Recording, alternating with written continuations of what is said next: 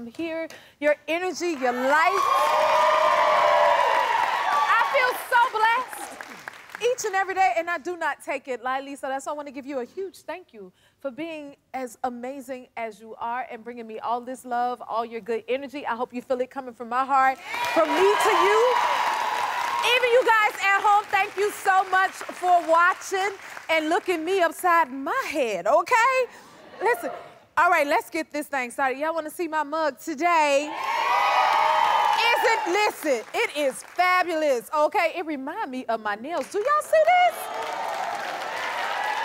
This came from Rosemary Robinson from Willingboro, New Jersey. She gave this to me. Now, she sent me this, she also sent me this cute video, but before y'all roll this video, look at this mug because not only are y'all amazing people, but y'all are creative too. It's so pretty, I don't even know if I want to sip out of it. Okay? Some things be so cute, you're just like, no, let's just put it up there so we can look at it. This is one of those. So she made me a lovely video too, so take a look. Hi, Jennifer. This is the cup for you. I chose this cup because um, she's a star. She's blingy like your nails. Uh, you're in Hollywood. She's an actress. She has her scarf on. She has her hair done, and she's superb. Love you and hope you enjoy it. Oh, hand wash only. I got it. Hand wash only. Got it, got it, got it. Thank you so much for that, Rosemary. I love this mug. And I'm gonna have to get my nails done like them too. So when you see my nails blinking like this, you inspired it, okay? Know that. Listen, yes. Another thing I love is hearing from y'all about your happy places. Y'all have been sending me and giving me so much life with them. I really love this one coming from Sharon Moore, who lives in Detroit. She says her happy place is with her daughter. I truly understand that. And she wrote me a little note. Can I read it to you? Here we go.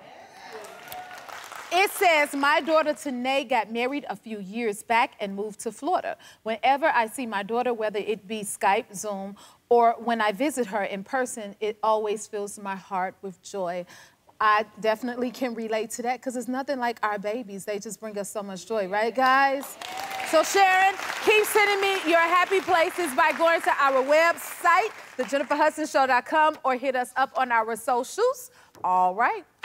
Now, I am so excited to talk to my first guest. He's one of the most popular sports personalities in the country. He always tells it like it is. His new book is called Straight Shooter, a memoir of second chances and first takes. Please welcome Stephen A. Smith. Thank you for being here. Oh, I done hit the big time. Oh my God. What's going on, everybody? Listen, listen. I It's know- a, such an honor to be here. I'm so happy to have you. You know, you like the soundtrack of my house. You just play on the TV. I feel like this is full on manifestation because one minute I'm looking at them on the TV, and now you're here at the Jennifer Hudson Well, Show. well, you know. I'm touched, I'm honored, I appreciate it. But you know, when you talk about sound, I mean, don't compare me to you. In the spotlight, come on now. Uh-oh. I, I can't compare to you now. Oh, oh. It's good to be here. See, I don't take that lightly coming from you. right. Okay, so you've been covering the NBA for almost 30 years? Yes, I have. Wow. Look at her. Oh my God. Yeah. It's always hardest to interview people that you're, I'm a fan of. So it's like, wow, you're here. No, sir, we we good. We good. Okay, we good, All we right, good. Okay, because he'll you tell talking- it like you, it You is. talking to your brother. We good. I love it's it. It's all good. So the finals are coming up. What's, what's your thoughts about it? It's going to be tough. I think that when you look at the NBA, it's one of the more exciting seasons we've had because in the Eastern Conference, obviously Boston, Milwaukee, Philadelphia stand out above the crowd, but you can't ignore New York and Cleveland. In the West, it is wide open. Denver, Yeah. you don't know how people are going to react in that altitude. You look at Phoenix, they now got Kevin Durant, who I believe, when healthy, is the best in the world. He Uh, is. And Devin Booker's no joke either. You got to pay attention to that. Ja Morant and Memphis. Mm-hmm. Can't ignore them. They've had some injuries and stuff like that, but they'll be all right. And to be quite honest with you, it's like they might they might bore people sometimes, and you might get upset because daggone it, they they healthy one day, they injured the next Yeah, with the Clippers. But when the Clippers are healthy, the Clippers are a team to be reckoned with. Kawhi Leonard, is that dude. When he's on the court and healthy, he's that dude. And Paul George is no slouch. And I consider Ty Lue to be one of the best in the business. And you don't count out King James. Come on. You don't count out King James. He said You- what he said. You don't count out King James. Not at all. Oh. Especially this season, because it's so wide open. Remember, most of them are learning how to win. Of course, Steph Curry and the Golden State Warriors know how to win. Kawhi Leonard knows how to win. You get that. Kevin Durant's a champion, two-time champion, two-time NBA Finals MVP, knows how to win. But pretty much when you look at every team, Yeah. there's no one that you can definitively say can't be beat. No one. This is mm-hmm. not Jordan in the 90s. There's see none of that? that going on right now. Speaking of Jordan, I'm from Chicago. Yeah. So, do do you know him? I know Jordan. You very well. do? Yeah, he and I just spoke the other day. Oh wow, it's Yes, like that. That's my man. I love him to death. We wouldn't be. I, I mean, listen, I'm I'm just a journalist and a personality and commentator and all of that stuff. We would not be. People like myself would not be where we are if it were not for Michael Jordan. It's like what he's done. What he's done for the game of basketball. And let me throw two other names in there: Larry Bird and Magic Johnson. That- they're the reasons when you look at where the NBA once was, if it were not for Magic Johnson and Michael Jordan specifically, mm. there would not have been a LeBron James. Wow. Not to this level. As a basketball player, sure. Yeah. But to be the guy, the iconic figure that he is, the global figure that he is, the businessman that he is, those two dudes stand out as guys that paved the way for all of us. All of us. You better tell him. Yeah. More with Stephen when we come back. We're back with Stephen A. Smith. What do you think of the NBA fashion today? By the Some of it's challenging, Jen. I mean, uh, uh, listen, uh, uh, listen. let- let- First of all, let, let, us be fir- well. First of all, that is not an outfit to clap about. Not that one. not that one. But but but but LeBron James has his moments where Uh-huh. he looks on point. Um, Russell Westbrook, credit for bravery because he tried stuff. He be that having none of us some looks. Think about trying. Uh, uh, Kyle Kuzma, I don't know what the hell he's thinking half the time, but I give him credit for trying. But uh, again, the fact these guys, you know, some of these guys go to Paris for Fashion Week. Uh-huh, I see They're in New. York for Fashion Week. I mean, they are really trying to do their thing. Some of it works, some of it doesn't. That's fashion. It's a matter of style, whatever your taste is. It's Yeah. just that sometimes their taste seems very universally accepted. Sometimes you look at them and say, you on your own. You're on your own. I ain't trying. I'm not trying. I'm not feeling that at all, you know. And do I think I dress better than most of them? Yes. See, see, because I was going. I do. I really do. I'm not gonna lie about it. Well, all I- right, I. I, kind of feel that way. Yes, Oh, I so, do. so you be pulling out your your, your Sunday's Oh, best no number doubt too. about that. I mean, listen, I'm, I'm on TV a minimum of 10 hours a week. All right, 450 hours a year, because I don't work less than 45 weeks a year. So when I'm on TV and you're gonna see me, I take it as, as, as- as- I treat it with the seriousness it deserves, because I want people to know the young whippersnappers on the come up. You don't get to just look the way you want to look and present yourself the way you want to present yourself without with your hand out for somebody else's money. You got to have a certain style You better tell that's it. appreciated. Right. And you got to be about your business. So when I'm on the air, I like you to look at me and know this brother's not playing. Ha ha. And that's how that's how I show up on the air most of the time.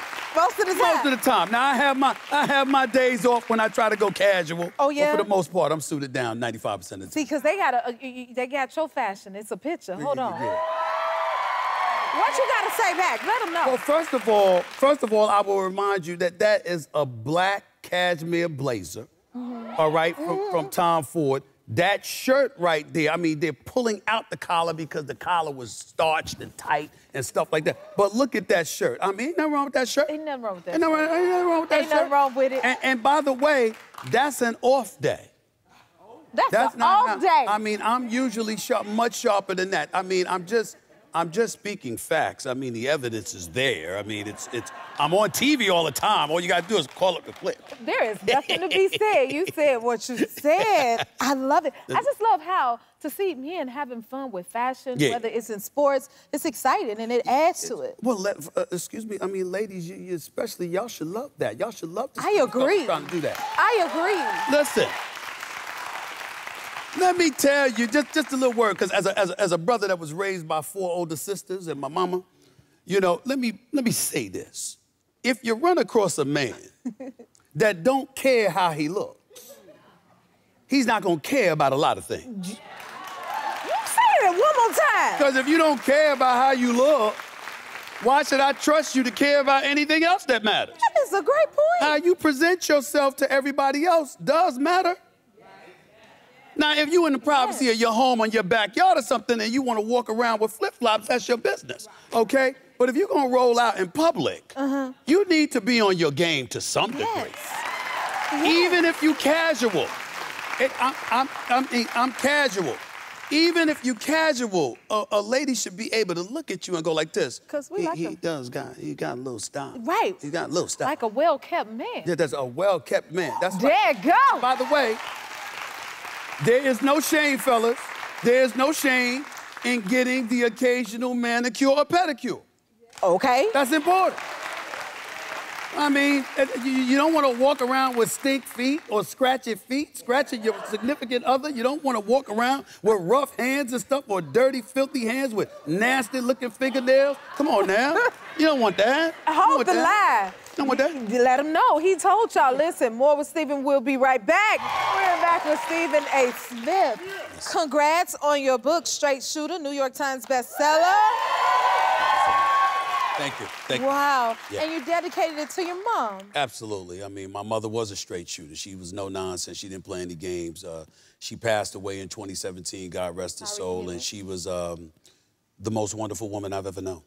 You know, she's, um, you know, I was one of those unorthodox mama's boys. like from the standpoint of the older I got, the smarter she was. But it took me being hard-headed and making mistakes to realize how brilliant she was. But um, I, I, I often say to people that, you know, for the first 45 years of my life, she passed away when I was 49.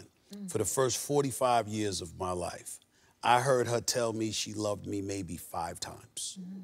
But I knew it mm. every day every day. And that was her way. She was West Indian descent, St. Thomas Virgin Islands. She would be like, I don't have to tell you. You know, you'll know how I treat you. you know, and I'm like, I got it. And I always knew. I always knew. So she was always straight up and she always held me accountable. But she was always my biggest cheerleader, my biggest fan. Um, and she was the one that always would, she would start every day, make me proud. Wow. That's what she would always say. A mother's love. And I'm, and I'm sure you've made her nothing but proud. Yeah. Wow. Okay, talk to us about your podcast, Know Mercy. Tell everyone what it's about. Well, to me, um, I've been doing sports my entire career, and I've got a podcast, Know Mercy, and it was very, very important to me because I own it, I operate it, it's my masters, my IP, it's all of that. I wanted to step out and show the kind of courage and the bravery that I needed to have in terms of betting on myself. And although that I'm surrounded and engulfed by sports pretty much every day of my adult life because it's the profession that I'm in, I just I know I never want to leave sports, Right. but I don't want to be limited by it either. Um, there's, poli- there's political issues to get into. There's social justice issues to tackle. There's things in pop culture and entertainment. There's a lot of different things. And I wanted to have a platform and an outlet to really go about the business of showing people you can have a conversation with me about anything. We mm-hmm. can have a conversation with each other mm-hmm. about anything. Yeah, you'll get your sports, and I'll never deviate from that at all. But that is not all I am. That is not all I intend to be. I'm 55. I'm not 95. I got a long life ahead of me, and I got a lot of things that I want to say and a lot of things that I want to speak on. And so, through the grace of God, I'll be able to pull it off. So far, so good. It's been pretty far, successful thus far. You're so impactful, so I try to be. we know it'll be successful. Yes. Now, you also knew Kobe Bryant. Yeah, I did. Rest his soul. Yeah. What did you love most about him? Kobe Bryant Thank you. Kobe Bryant might be the most brilliant athlete I've ever seen in my life. Um, his level of intellect Yes. Was just off the charts. He spoke three different languages fluently English, Spanish, and Italian. Um, I believe he was trying to master Mandarin and German. Uh, I think he might have, he might have, I never heard him speak it to me, but he was talking about doing it. Knowing him, he probably did it. Um, Five time champion, league MVP, uh, you know, Hall of Famer, one of the greatest ever.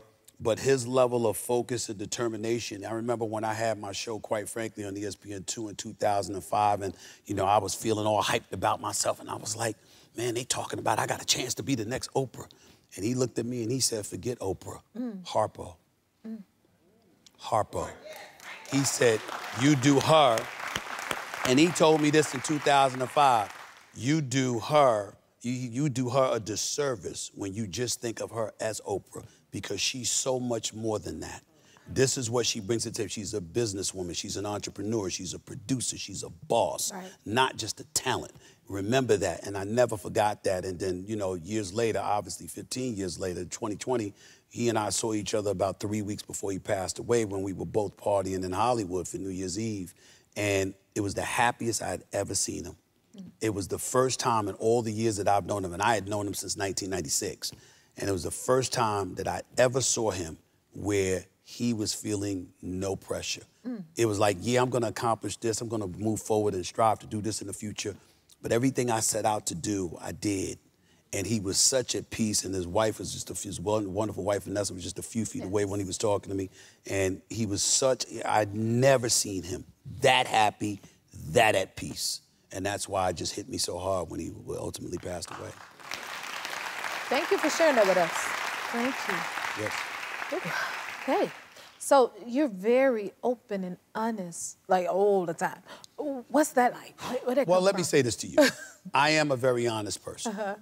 Open, not so much. I, I, I, I firmly believe, see, I don't believe that we should waste our energy lying to folks. There's nothing wrong with telling somebody, I'm not touching that, no comment, or mind your damn business. There's absolutely nothing wrong with that. These people that go through all of this effort lying to folks all the time, I don't understand it. It's none of your business. I ain't answering that question. Go someplace. It's very, very simple. Or you tell them if you're comfortable enough to answer whatever question they pose to you. And so much energy is expended trying to convince somebody to see what you want them to see instead of being yourself and letting them see whatever it is that they want to see. You can't waste no energy with stuff like that. You know, It's a And- life class right and you here. got people like, for example, we, we you see people inside and outside of Hollywood and beyond. You know, I've had many of them come up to me. How do you do it? Because the trolls are messing with them and they can't take what these people are attacking me. I said, why do you read it? Who told you you got to read what they say? Right. Who told you you got to pay attention to their negativity? Now, don't get me wrong. Sometimes I'm, I'm I mean, I'm not, I'm not a Twitter troll or anything like that. But by virtue of the hosting the debate show every day, being a part of the debate show, sometimes you got to be critical, mm-hmm. and I understand that. But mm-hmm. I'm talking about your game. I'm talking about what you do. I'm not talking about who you are mm. because I got love for people, mm. and I want everybody to succeed. I don't want to succeed and be at the top by myself. I want everybody to succeed. But in the process of doing that, you got to d- distinguish the difference between truth and negativity. But at the end of the day, if the truth is negative to you, if a falsehood is negative to you, you don't have to pay attention and give your time and energy and spirit to stuff that really is not good for you. Ignore it. Don't read it. Don't read it. Remember, you got you have social media pages and stuff like that. You have that to put out what you want to put out. Right. You don't have to read these comments about you. 99% of the time, I don't read them. They say, Stephen A., did you see what they say about you? Nope. Nope. And don't bring it And to don't me care. either. And don't care. When I want to see it, I'll go look for it. If I don't look for it, clearly I didn't care. Let's move on. Hey, well, we go we gonna do just that. Thank you so much for being here. Will you come back and see us? Anytime for you. Oh, we Anytime. appreciate you so much. Be sure to check out his podcast, Know Mercy, wherever you get your podcast. His memoir, Straight Shooter, is available everywhere books are sold. And today, everyone is going home with a copy. We'll be right back. I hope y'all ready to have your minds blown. Please welcome Ring Jedi himself, Danila. Come on out.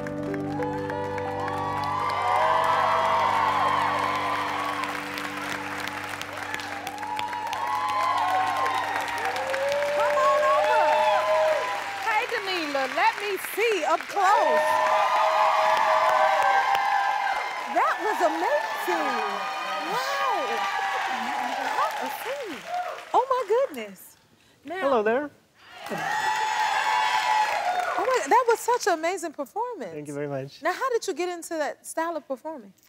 So this is actually called uh, eight rings. It's a type of flow arts. It's uh, not really like classic juggling where you throw and catch things. It's called contact juggling because you spin, you do precise manipulations with the rings, and it's all about creating this beautiful, mind-blowing illusion. Yeah, that was amazing. Did y'all see that?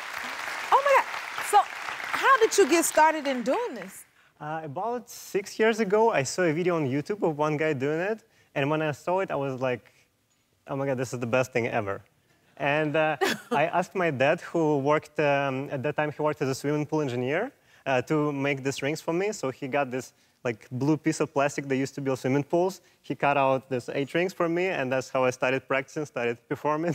Oh my goodness. You're amazing. Now, I was trying to look real hard to try to study it a little bit. So, can, can you show me how to do it a little? sure. Matter of fact, I don't know how far I'm gonna get with these nails, but I'm Matter willing fact, I to have a try. special present for You you. got? Oh, you got a present for me. Yeah, I know love people. A. I know people bring flowers Uh-huh. all the time, so I got a beautiful purple brought flower for you. purple, and it matches my top. So go, this is for wait, how do I These hold are it? eight rings, like Huh? solid eights. Okay. So you hold them in the middle, Uh huh. and this one. And let's come to the front. I got that part right, y'all. Hold the line. So one simple thing you can do with them, if you bring them closer together, you create this line of 3 Mm-hmm. and you can use it as a wheel, like a steering wheel. So Yes. here you see already, you keep in the middle ring in the center, Uh-huh. and look at someone. Okay, I see all these beautiful people. All right, you got this one? I think then, so. Then open them back. Try to fold them to the side like a book, like this. Mm-hmm. Perfect. And this one's called butterfly. So you just move them back and forth like this. Oh, y'all see? It's good. it's good. All right, and let's do one final one. This one's called vortex. Vortex. So you spin this one forward, you Oh. spin this one back, and this is the vortex. Oh Lord. Was that close?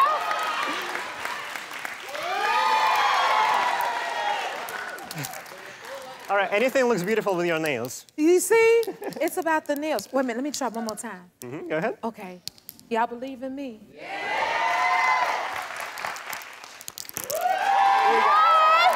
Yay! Thank you so much for that. This is amazing. If you want more of Danila, please go to socials at Ring Jedi. We'll be right back. Our next guest is an Emmy nominated actor who you know from the award winning series Veep. Please welcome Matt Walsh. Thank you Oh so much for being here. Thank you for bringing me into your living room. I love it. You are in my living room. It's so living room. cozy. Yay, that's the goal. Cold, I like it. Oh, It's Good comedy weather, as we say. good comedy. weather. I was going to ask you a question. I was. I thought you had a question. I do have a question. You want my advice? Yes, I do. Okay. I'm not really a good singer, but sometimes actors have to sing. Okay. So, what advice would you give to someone with a bad voice who has to sing? well, The first advice would be don't sing. don't sing. No. Sometimes they tell you, okay, in this scene, you got to sing a love song to this woman. Well, you know what? I would need to hear you sing. Give me something simple that was. N- I'm like, I have like a range of like a one lane highway, like that. so give me something in the middle. Huh. Happy birthday to you. Happy birthday to you. Happy birthday, dear Jennifer. Happy birthday to you. You know what? That was sweet right there. That wasn't bad, was it? Okay, Matt. The first lesson is to stay in tune. You just did that, right? Really? Yes. I was on, on tune? You you was on tune. So if you said, if you were directing it and you said you could give me better, what would you say? What would I say? Yeah. Well, you got to believe it. Believe that it's your birthday? No, no. If, the, if that's the subtext that drives you to get you to do it, Okay. You know, because it's all about the emotion. It's not even about Oh. right notes. You know, you just gotta. So, can you sing it like you really mean That it? I'm really happy for your birthday? Yeah, it's my birthday. Okay. Um, Come on. Come on. All right, little. Okay. Uh, happy birthday to you. Happy birthday to you. Happy birthday, dear Jennifer. Happy birthday to you. Is that better? I like the better? first one better, man. It was better, see? It was. no, but see, I, I when like. you try too hard. I, I love, it's all about the energy. There is no right or wrong notes. I tell people this all the time. It's, it's just the joy. We sing when we're happy, right? Oh, or when we're feeling good. Yeah. So it's about that energy and seeing your glory. I don't even care if your notes is right or wrong. long as I see you happy as hell, I'm happy for you. Really? Yeah. Okay. But until then, you keep acting and doing everything else. I don't- And Meaning don't don't go into the singing business. but you can. If You keep acting, sweetie. Yeah, you just keep acting, Because you do such a wonderful job here at the Happy Just Place. make them laugh. And make them laugh. Because music is more powerful than comedy. You That's think true. so? I- 100%. Really? You, ne- you never see a wonderful singer open for a comedian. It's always the other way around. It's like, here's something pretty good, and here's the real show. Ah. It's true. It's more powerful because music transports you and reminds you of what we can be, how perfect the world could be. It transports you, and comedy always reminds you we're just dumb, stupid people. it's always like knocking us down to be human, and that's that's why music is more powerful. Okay. no, but that was that was good notes. It's true, though. It's true. You know what? I have to say this because you said normally comedians, well, singers that have comedians open up. And when I got to open up for Aretha Franklin, I was the, uh, apparently I was the first singer she allowed to open up for her. And up until that point, it was always comedians. Yeah, yeah. But there'd never That's be. interesting, right? There's never a comedian who could come on stage after Aretha Franklin, ever, because people would just leave. They just, well, they saw the best part, and they're like, "Let's go, honey. Par- Let's get out of the parking lot before it gets crazy." Well, you know, keep at it. I w- You're sweet. I no, I appreciate your uh, advice. Thank you. I'm so happy to have you. You're from It was- Chicago. I am from Chicago, South Side, South Side. 103rd and Kedzie. Oh my You know that area, sort Of course I do. I'm okay. from Chicago Mount too. Green, but I know you are. So you got started in comedy in Chicago. What was that like? Co- Chicago's a great city for uh, being poor and doing what you love. And there's an audience that supports comedy, so it's a great city. And I, I got into Second City, and I was able to do pranks and, and make a living. And I, but I started in psychology. I was going to be a psychologist. Really? Yeah. So I was doing psychology during the day, taking grad school, and then at night I was doing comedy shows and drinking too much. And then I would have to go to work in the morning and pretend I was an adult. So eventually I realized that I was better at comedy because the stakes in psychology are too high. It's, if you screw something up in comedy, you don't get a laugh. But if you screw something up in psychology, the repercussions could be more severe. Mm, I love some psychology though. That's interesting. Yeah. Now you have you have any jobs in improv? I had many jobs to pay the bills. I would do anything, almost anything, not prostitution or anything, but anything. I know you didn't think that, but um, and so I did like mock trials where you study, you, you play a criminal, and then law students interview you on on uh, in a court case. So I did that. Secret shopper, dressed like an elf on Michigan Avenue, giving away Frango mints, wearing tights that showed my boxers. That, I'm not proud of that. And one. did you sing a song with it? I didn't. Uh, I didn't have to sing. Okay. I did singing telegrams. You did? I did. And It how just reminded me of a nightmare. Yeah, uh, not great. not great. I had to audition for a woman who, when I auditioned for her, she turned against the wall and looked at the wall because she got nervous auditioning people. So I was auditioning to the back of someone's head. She got nervous auditioning people? Yeah, she's like, don't take this the wrong way, but I can't handle when people audition for me, so I'm gonna face the wall. So she turned the wall and said, go ahead, sing something. Make it make sense. Do do do do. Oh, oh, you're auditioning? Do do do do do do do. Do do do do. You got it, you got it, you got it. Do. You got it. Hey, will you stick around for a little bit? I would love to. That's crazy. Mama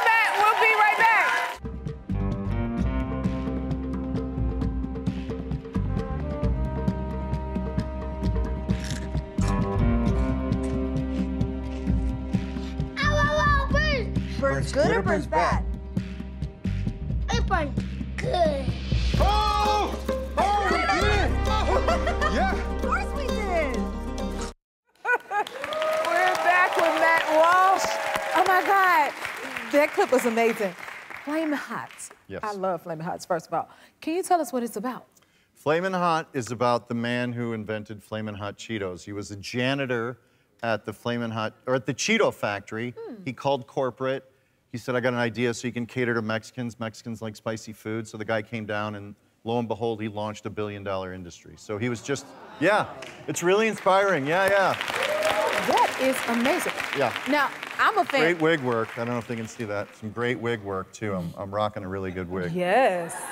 Not that that's what the movie's about, of course. That's Jesse Garcia. He plays Richard Montañez, mm-hmm. who is the man, and he's a great actor too. So And that is a great wig. thank you. I see you. Thank you. Yeah.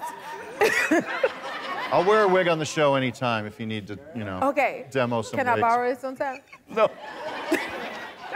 Listen. I have a big head. It would probably come to here. The more hair, the better. I'll right. take it. so listen, I love some spicy foods. Are you a fan of spicy foods? I don't. I'm not a huge fan of the Flamin' Hot Cheeto. I guess I like uh, a medium hot wing. Uh, so medium. I don't go crazy hot. No. Long story short, no. Like the, the. Are you a fan of the Flamin' Hot chicken that's so popular now, Yeah. like Memphis style? I don't really like that. No. I don't love why. everything spicy. Really? Mm-hmm. Really? Mm-hmm. Anybody else? Do you make anything for yourself that's like simple spicy, like your chili or something? No. No. I need spice on top of spice. spice on top of spice. Yes. I like spicy Thai food. See, okay. I love a spice, like Yeah, you get it and then you go crazy. That's the one I like to spice up. That's the only thing you like to spice. Yeah, other than that, yeah. Man. It works for me. Even the flaming hots. Put me a little hot sauce on top of it. Really? Yeah. Listen, okay. Really? yes. Now, okay, so you're really into pickleball? Yes. Can you tell us what that is and how did you get into it? Because I've never heard of it. Uh, pickleball was something I picked up during the pandemic. I think I played it at Julia Dreyfus ha- had a court that she invited us to play on, and then I picked it up during the pandemic. So we taped a court in our driveway, and we were able to play during the pandemic. And pickleball is basically you're standing on a ping pong table. Just imagine that. You're standing on it. Yeah, I mean that's basically the game, and you just hit like a, a ball back and forth. And the only different rule is there's a thing called the kitchen, which is kind of like the the lane in basketball. You can't step in there unless the ball bounces there, if that makes sense. And that's really it. That's it. Okay. And it's fun and it's easy. And if you're of average athleticism, you can be good right away, which which I love.